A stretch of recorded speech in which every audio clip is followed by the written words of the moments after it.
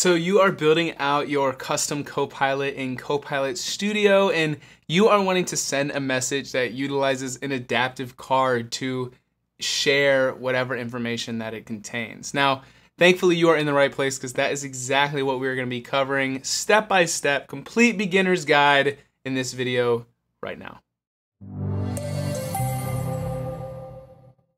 Okay, cool. So here I am within Copilot Studio and I am looking at our coffee Copilot within our order a coffee topic and right now we have a confirmation message that the order has been submitted and right now I don't really love the look of it. For example, this is what it looks like here and I just think we could really give this some I don't know, pizzazz, I guess if that makes sense, to make this look better and more professional. And so in order to do that, we're going to utilize an adaptive card. Now, in my opinion, adaptive cards within Copilot Studio right now are not very intuitive and I've even found that they're really annoying to work with. Sometimes where I make some changes and then I leave the adaptive card editor and my changes weren't actually saved even though I thought they were. Neither here nor there.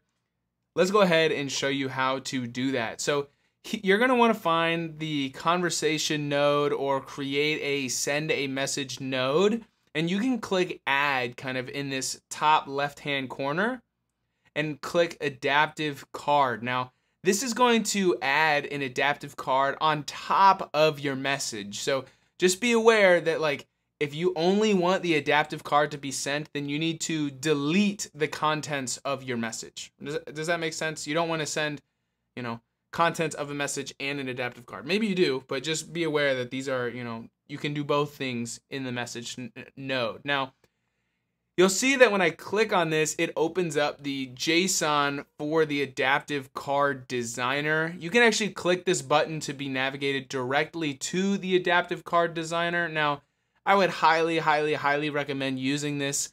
I, by no means, am an adaptive card expert, but utilizing this does help me build what I need. Now, a couple things to note is in doing this right now at this point in time, Copilot Studio conversation nodes can only digest up to version 1.3 adaptive cards. So if you notice in the top right hand corner, the default right now, the most up to date is version 1.6.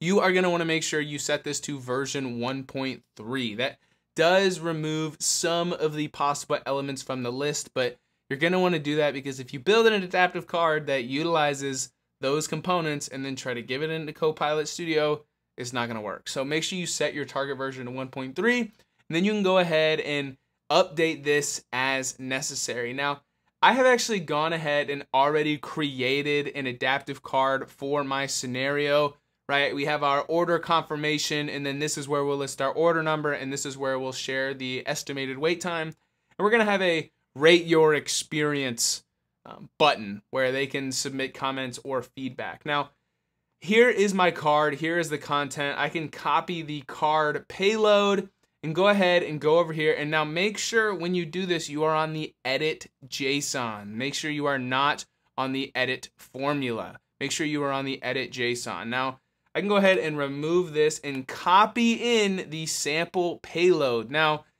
at this point in time, our adaptive, our chat will send an adaptive card. Our copilot will send an adaptive card, but you might note that this adaptive card at this point in time does not contain the variables that we want it to. Now, for example, I am gathering, you know, creating an order number and an estimated wait time previously from this Power Automate flow.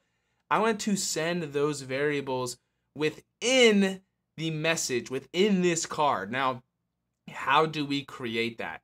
You need to then, with your adaptive card in here, go and switch this to formula. Now, one note, once you do this, you cannot flip back to JSON without just discarding your entire adaptive card. I don't know why I'm sure if you understand and you you understand this stuff, let me know in the comments down below. I'd love for you to teach me. But you know, just know that once you switch it to edit formula, which is what you need to do to utilize variables, you can't switch it back. Um, just for the sake of making this larger, let me go ahead and open it up you can kind of see the defined contents. And right here, we have the text order number. Now, we don't want to send the text order number. We want to you we want to share our order number variable. So if I remove that, including the parentheses, I can go ahead and start typing out the schema name of our variable. Now, note your variables will likely start with a topic period or a global period prefix. So for my example, my variables are topic variables. So if I start typing out topic and put a period, you can see all of my topic variables in this topic and we have order number here. If I select that, why it's jumping around, I'm not sure, but we have now we have our topic order number variable will show in the text of this text block. Now, the same is true for this here. Now, we want this to say the estimated wait time colon space followed by then our estimated or our wait time variable. So in order to do that, if you wanted to add text with the variables, which is very likely, add your text within the double quotations, a space, an and sign, a space, and then your variable. So topic, period, wait time. So now what this is going to show is everything that we needed to. It's going to show the contents that we need. I can go ahead and click out of this card editor and make sure I save. Now with our adaptive card updated, let me go ahead and resend this message. Here it has sent our adaptive card. It has added our order number and our estimated wait time of three minutes and we have our rate your experience button. I hope this makes sense. I will say one one final thing here, and this is kind of just further discussion that I was on a project where we were building a pretty detailed, in depth adaptive card. And it was taking contents that we were, were gathering within a Power Automate flow.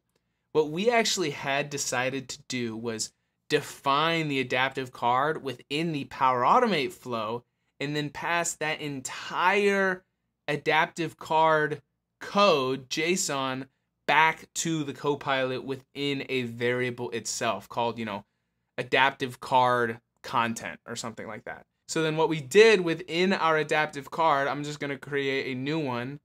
We had an adaptive card and I instead of having any of this, we just related to our topic adaptive card content you know,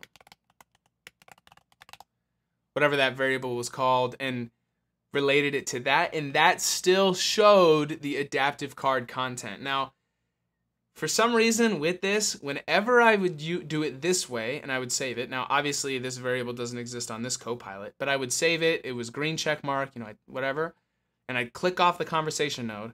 The moment I'd click back on it, it would clear out the contents of this. I don't know why, I, I have no idea, but maybe maybe a known bug by Microsoft, I'm not sure, but that is just another potential solution that I guess I wanted to share and discuss is that you can build adaptive cards within Power Automate flows and pass the entire content of the adaptive card back to your Copilot and then add that variable as the content of the adaptive card. I hope I hope that makes sense and might be what you need for your scenario.